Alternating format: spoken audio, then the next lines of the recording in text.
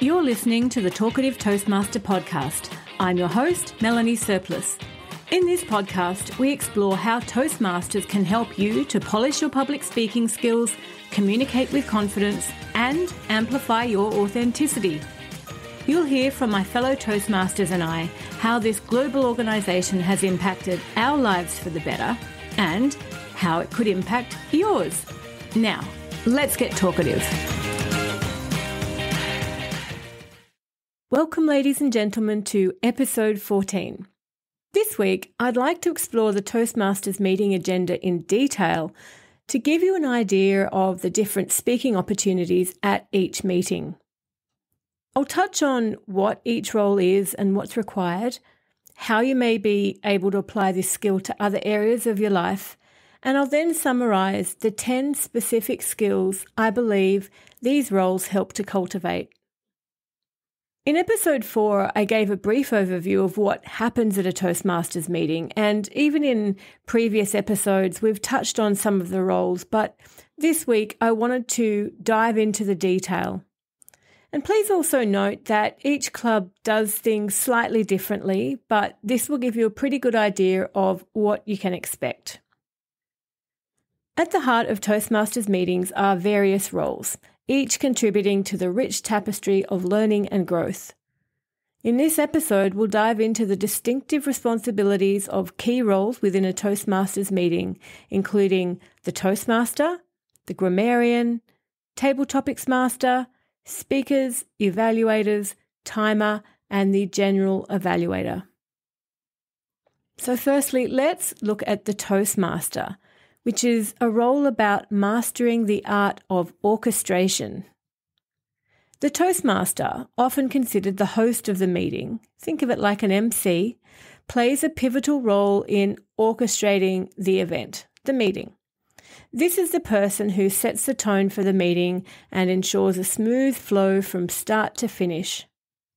The Toastmaster introduces speakers, keeps the meeting on schedule, and fosters an atmosphere of enthusiasm and encouragement.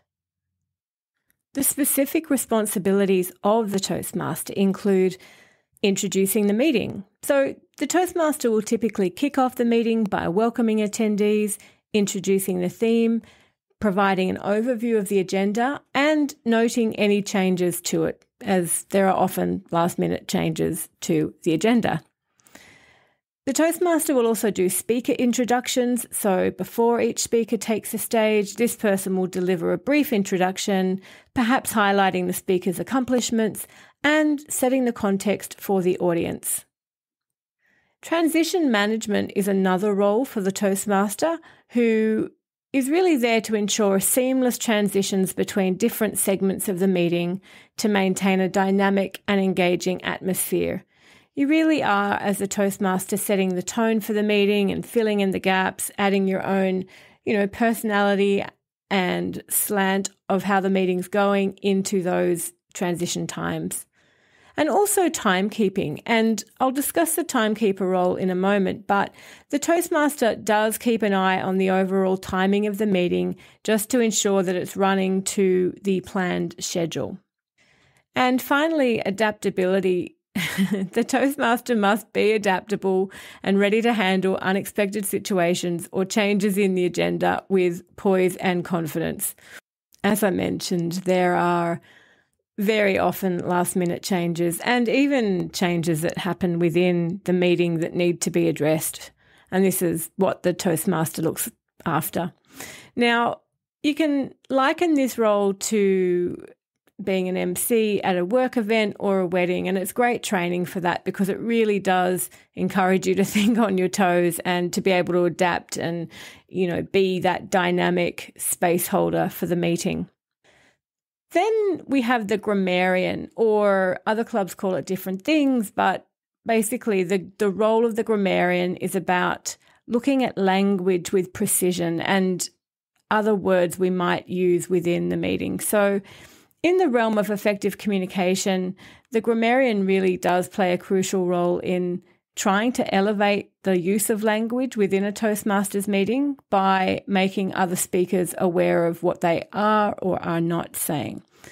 Now, this role encourages members to pay attention to their words, which fosters an environment where language can become a powerful tool for communication.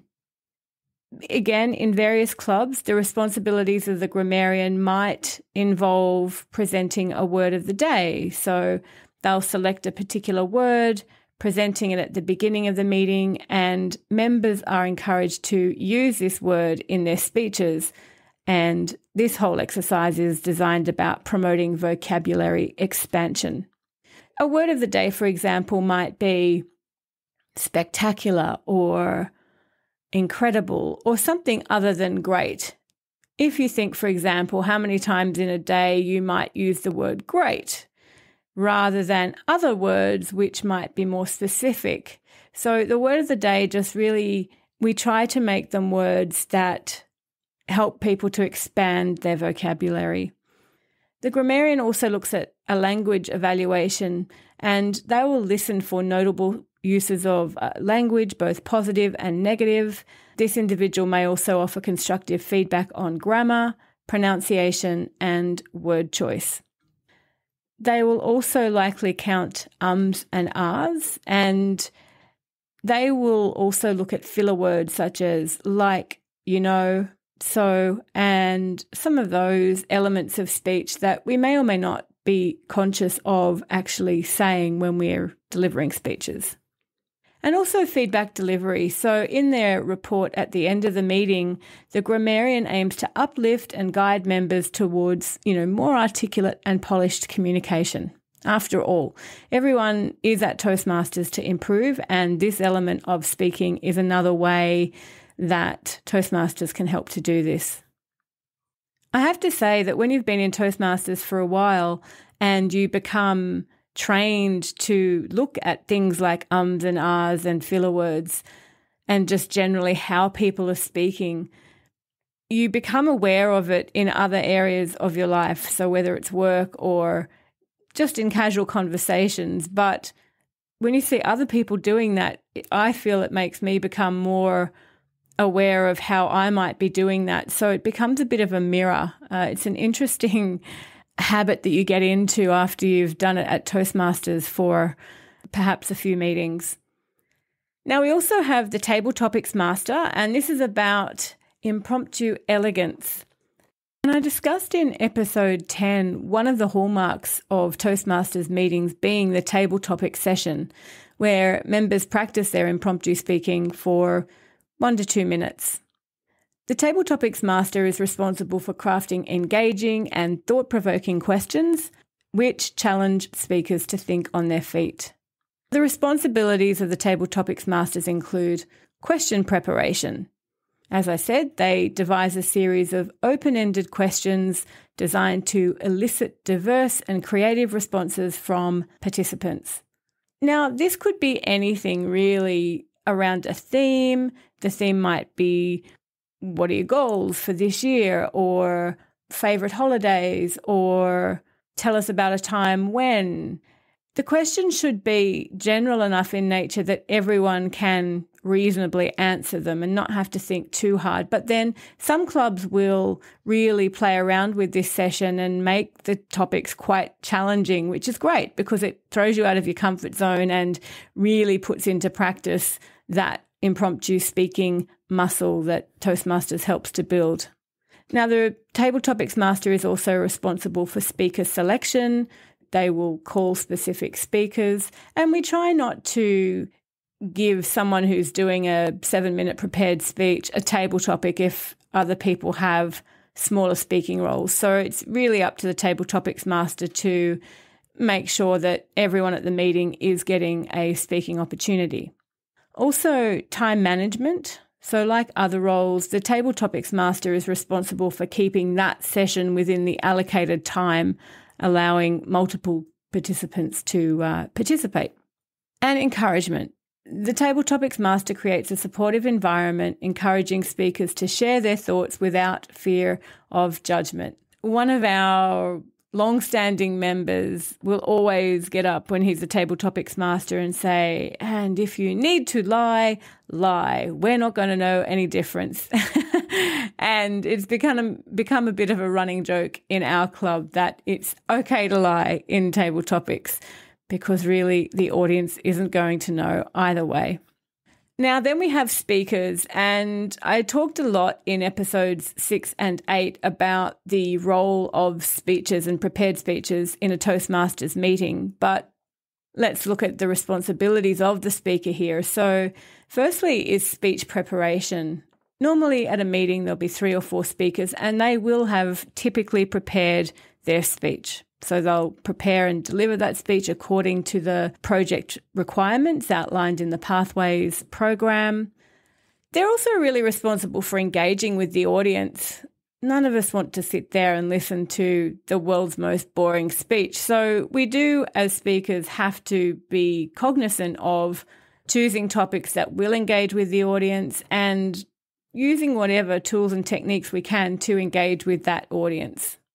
Also, speakers are really meant to adhere to time limits. So everything on the agenda is timed and there are allocated time limits. And again, speakers must be mindful of the time constraints outlined by the timer and the assignment they're working on and to deliver speeches in that time frame. And feedback and reception. So after the speech, the speaker will receive constructive feedback from the evaluator, enabling continuous improvement, and ideally implement that feedback in their next speech. Then we have the evaluator, and I looked at this role in detail in episode 12, but just to ca- recap the responsibilities of speech evaluators, they are really there to do an analysis of the speech. So the evaluator is going to listen very attentively to their nominated speaker's presentation, analyzing various aspects of that speech, vocal variety, the content, and the delivery. Their main role is to provide constructive feedback. They really are there to emphasize the positive aspects of the speech while providing insights on areas that could be refined. And the more specific it is, the more actual value it provides to that speaker who is wanting to grow. Evaluators are also there for encouragement, and they really should be striving to encourage speakers while creating that balance between constructive feedback and providing positive reinforcement. At Toastmasters, we ultimately want people to succeed while providing, you know, good constructive feedback and encouragement. And also, we want to provide objective evaluations. An evaluation will always be someone's personal opinion, and the opinions on any one speech may vary quite substantially. It's important to realize that any evaluation that's provided is just the opinion of that evaluator. But what we also want to see in evaluations is actionable, specific suggestions for improvement because that gives the speaker something to latch onto and to really action in their next step. Then we have the timer, which is all about keeping time and keeping the pace of the meeting. And in a world where time is of the essence, the timer in a Toastmasters meeting is the guardian of punctuality.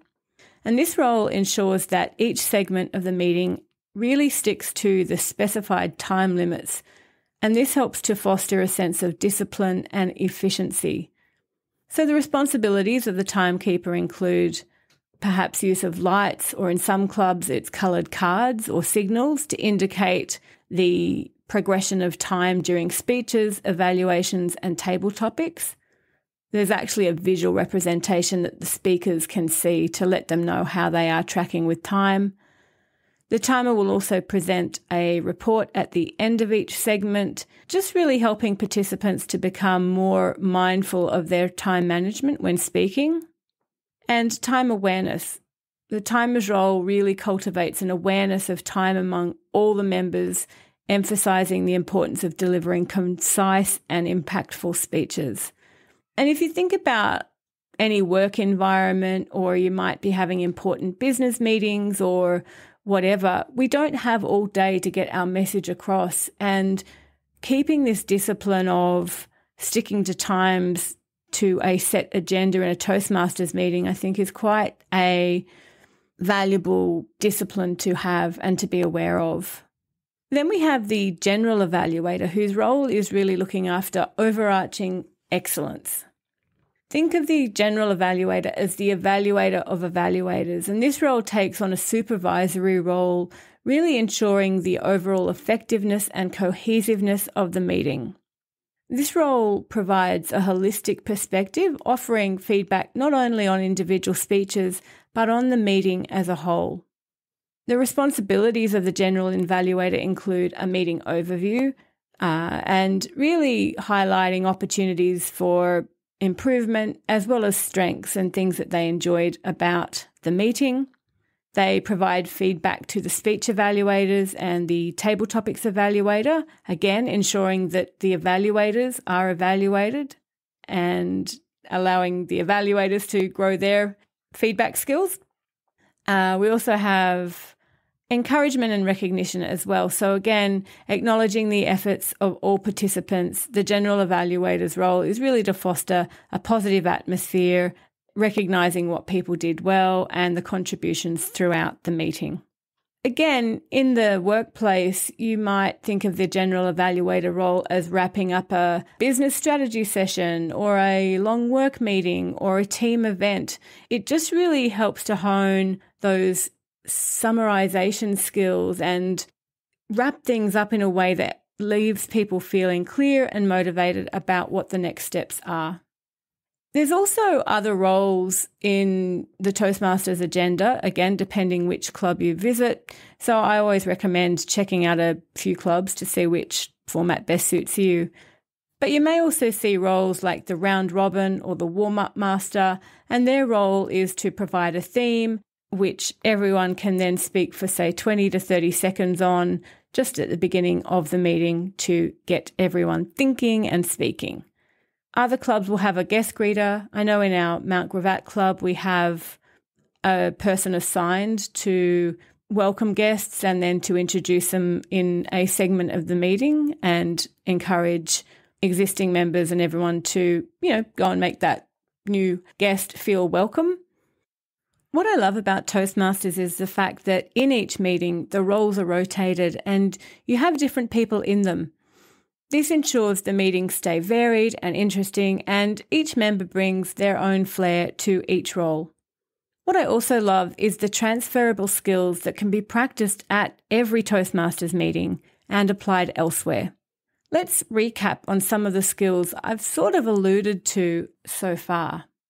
Firstly, there's leadership skills. So if we think about the Toastmaster and the General Evaluator, they're really holding space for the meeting in one way or another and setting the tone, managing transitions, and then the evaluator backing that up, ensuring overall effectiveness of the meeting.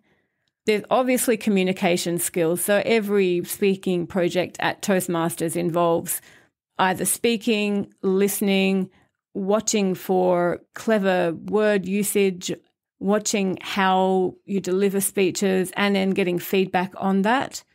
Also, with the agenda, there's the element of time management. Every speaker is really encouraged to speak to their allocated time slot, and then the timer and Toastmaster help to package that meeting in a way that keeps to the allocated times.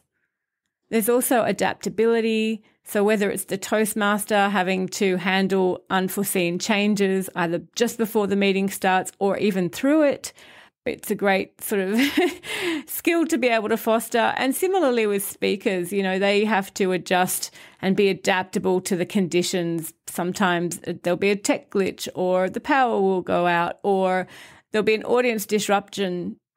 They need to be aware of their ability to adapt to the circumstances. There's also the skill of impromptu speaking and the segments like table topics or even speaking or many of the roles are impromptu speaking opportunities that provide training for improving how you speak and respond off the cuff. There's also analytical skills, and whether it's the evaluator or the general evaluator, really looking in detail at how a speaker is doing their speech, how they're delivering it, what they're saying, how they're saying it, and then how the whole meeting has come together um, analytical skills is something that definitely Toastmasters helped to develop. Similarly, the ability to provide constructive feedback, encouragement, and recognition. These types of skills are borne out by the evaluator and the general evaluator, and really looking for highlighting people's strengths and areas for improvement. The application of that, as I discussed in a previous episode, is really profound if you can deliver that kind of feedback to people in your workplace or in your own personal friendships or family situations. It just becomes a much nicer way of delivering feedback. Obviously, as well, public speaking skills, where through pretty much all of the roles I've talked about are about improving public speaking skills and whether it's prepared speeches or impromptu speeches, providing this environment that allows members to practice, fail if they have to fail, and improve, it's all there in a very supportive environment. And the final skill is team collaboration. A Toastmasters meeting has a lot of moving parts. There's likely to be between 15 or 20 members, or more or less, just depending on the club, really coming together to create an event, a meeting that they've prepared for, they'll deliver their speeches, they get the feedback, and everyone goes on their merry way. But that collaboration, everything we do is in collaboration. No one person's going to hold the meeting, no one person's going to break the meeting. So it's it's really a case of what you put into the meeting, you get out of it, but in doing it in a collaborative way, it makes for some great meetings. And so there you have a summary of the key roles at each Toastmasters meeting. As you can see, each role cultivates a rich set of transferable skills that extend beyond the realm of public speaking. Each role contributes to the collective learning experience, creating a supportive environment in which people can thrive. Now, if you're still on the fence about checking out a Toastmasters club near you, all I would say is just go do it. Stop procrastinating, stop putting it off, stop making excuses. It's all very easy to do that, but I am sure that if you set foot in a Toastmasters club, it's going to open up doors that really are waiting to be opened.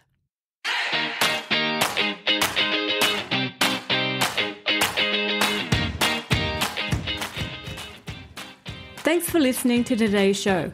Head to talkativetoastmaster.com where you'll find the show notes for this and all other episodes, as well as links to some awesome Toastmasters resources. If you found value in today's content, I'd really appreciate if you could share it with friends and colleagues who may be interested. Or leave a review on iTunes. This helps more people to find us. Until next time, remember the words of Brian Tracy. Your ability to communicate with others will account for 85% of your success in your business and in your life. Have a great week.